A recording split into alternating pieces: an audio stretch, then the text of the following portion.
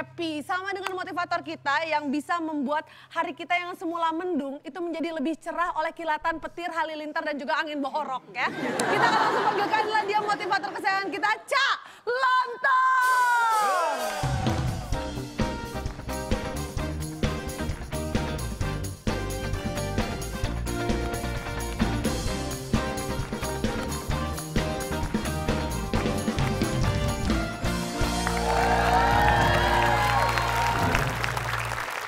Apa kabar? Baik. Bentar. Pep, coba topi Anda kayaknya nggak pas nih. Putar ke kanan. Aduh, kebanyakan, kebanyakan. Balik, balik lagi. Nah, gini baru. Nah, tadi dia begini, Pak, awalnya, Pak. Enggak, tadi, tadi geser 2 mili. Wah, rambutnya beduk kurang ngembang nih. Eh kasih baking powder. Kurang disiram, Pak, ntar tumbuh ngembang nih, Pak. Enggak lagi kenapa sih Pak? Ada masalah, Bapak- mas, rambut saya biasa-biasa aja, Pak. Enggak, tapi kelihatan kurang simetris dengan Pala. kepala sebelah Anda. Lah kan kepalanya dia. Bukan kepala Anda yang sebelah kanan maksudnya. Coba dipangkas dong kepalanya. Ya emang kan modelnya rambutnya belah, oh rambut saya kan emang belah pinggir, Pak. Enggak Bapak ini kenapa hari ini tumben kok kayak telaten banget gitu memperhatikan Jangan orang. jangan salah. Detail Saya banget.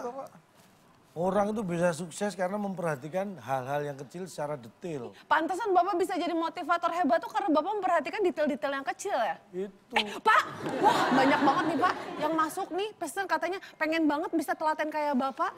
Telaten menurut KBBI. Kamus Besar Bahasa Indonesia adalah apa ya? Sabar, kemudian teliti dalam mengerjakan sesuatu. Jadi ciri-cirinya ada berapa tuh Pak? Nah, ciri-ciri orang telaten. Saya akan sebutkan, sebenarnya banyak, tapi saya akan sebutkan nggak sampai 10 lah. Tiga ya. Oke. Yang pertama, orang telaten itu kalau melakukan sesuatu, dia selalu ngecek dua kali. Di cross check lagi. Ini ini, maksudnya misalnya nih, Iya, iya, iya. ngerjakan PR. Yap. Ini kalau orang telaten beda dengan orang biasa. Habis ngerjakan PR, kalau orang Selesai, telaten, gitu aja. dia langsung keluar ke Ciliwung, terus ke Pesanggerahan. Pak, cek dua kali, Pak. Dulu ya kali Ciliwung, kali Pesanggerahan itu dicek. Nah, ini dua kali mini. Dicek. Dua kali. Enggak dua tambah atau dua kurang, Pak? Enggak. Harus dua kali. Dua kali, dua laut kejauhan. Orang telaten itu suka memperhatikan hal kecil ya. Misal eh, detail-detail kecil kayak kalau poni itu saya kalau belah. saya tadi itu detail. Kalau ini ini? hal-hal kecil, misalnya nih. Semut. Kecil. Apa apa Pak? Debu. Pak ini Pak, nggak sekalian Pak. Apa itu? Mikroba.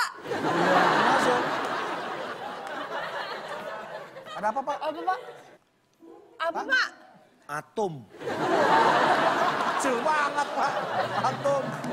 Oh berarti. Bapak orangnya telaten banget ya. Hal-hal kecil. Terus berikutnya. Yang ketiga itu, nah orang telaten itu jelas. Jadi bisa dilihat itu di identitasnya itu ya. Itu antara Solo, Jogja, Boyolali ke arah apa? Selatan apa utara dikit gitu. Itu orang telaten. Mm-mm. Pak, Klaten itu, Klaten. Klaten. Klaten. Kalau Bapak bisa nggak sih menilai satu, eh, seseorang itu dari karakternya dia itu orangnya telaten atau enggak? Kelihatan, Bisa. bisa dong. Ada dua teman saya Pak, coba saya mau dilihat nih Pak, kira-kira orang-orang ini telaten atau enggak Pak? Siapa nih? Coba eh, Pak Akbar sama Pak Bedu nih. Nah kita coba aja. Ini orang, Telaten nggak menjawab TTS? wah mereka tele- telaten tapi serius. Karena mereka akan menjawab semua soal-soal di TTS. Teka, teki, sulit.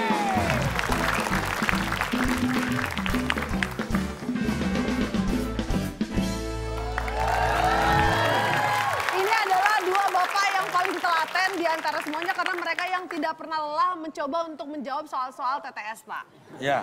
Nah, kita sudah hadirkan di sini sudah ada dua orang dan tentunya biar adil dua-duanya kita akan ajak yang mendampingi. Tapi pemirsa ada di rumah juga kita, eh, harus ada orang yang mendampingi untuk menjawab soal yang akan disampaikan oleh Cak Lontong. Supaya Iya. bisa jawab dan dapat 500 ribu rupiah dipotong Pajak. pajak. ya. Ini yang perlu kita ingatkan kepada teman-teman ya.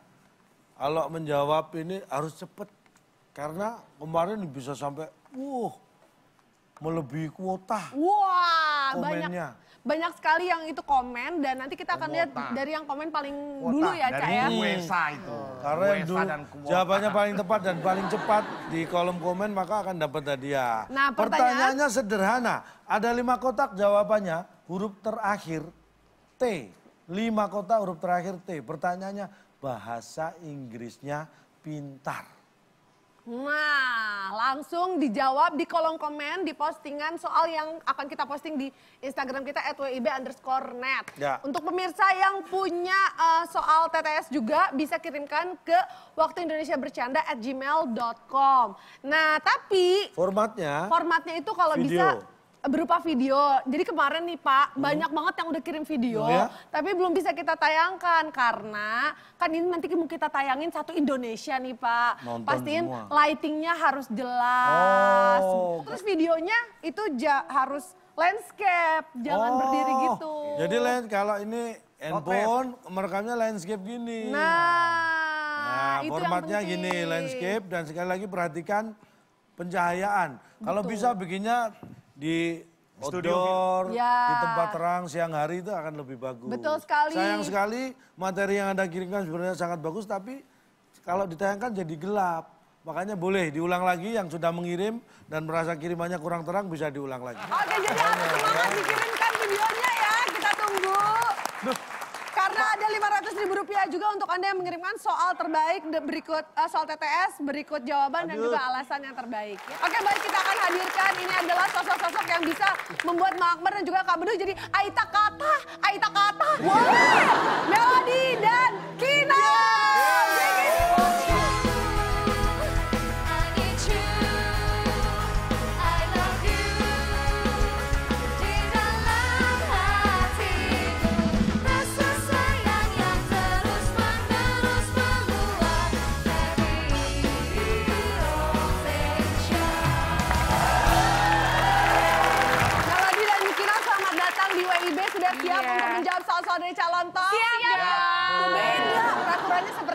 Iya. Kan udah pernah Pak. Nah, kita ingatkan lagi ya, ini Iya. seperti mengisi TTS pada umumnya. Satu jawaban benar 100 nilainya, jawaban salah tidak mendapat nilai, tidak menjawab berarti tidak tahu, mengganggu ketertiban kuis dikurangi 50. Oke, pesertanya udah, peraturannya udah, hadiahnya Pak. Nah, yang menang akan membawa pulang hadiah apa? Silakan, Bung Alex. Alex. Teka-teki sulit dan kata misteri sebagai rintangan Anda. Bila berhasil, hadiah mobil box yang dipersembahkan oleh Sapu Juk. Bulu mata dari sapu ijuk, kuat dan anti rontok. Silahkan bawa pulang. Lu bulu mata nggak bakal kelipan debu, Pak ya. Langsung sapu, sat, sat, sat. Iya. Itu kan yang memberikan hadiah, yang penting hadiahnya mobil, Mobil box. box. Wah, lumayan. Sembakonya nggak, Pak, dalamnya, Pak? Itu aja, Pak. mobilnya aja berapa harganya? Iya, iya. Lumayan apa ya? ya, kita beri semangat dulu kepada Jajan. Ini dia TTS kita. Karena kita membahas telaten, saya beri kata bantu telaten. Nah, Oke. sekarang Kinal dan juga Akbar, kita beri kesempatan terlebih dahulu. Tim Lima, lima menurun deh Pak. lima. Lima. menurun. Kita lihat. Turun. Wah, panjang loh ini nggak masalah. Iya, apa-apa. Baik. Ada sembilan kotak, huruf L di kotak yang ketiga. Pertanyaan tentang fauna. Ya. Lima menurun. Hewan yang keluar di malam hari. Namanya? Saya jawab Kan langsung. arahnya kelelawar nih. Kelelawar yang bener kan. Yang suka keluar di malam hari biasanya Kelalapan. Eh, kelelapan. kelalapan. Oh, sama sambel sama ikan asin tuh enak Iya. lalapan. Kelayapan. Kelayapan kita kunci. Kelayapan.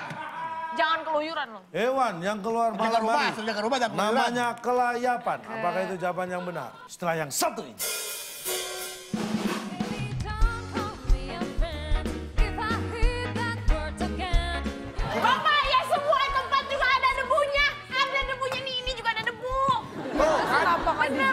Maria marah-marah nih. I try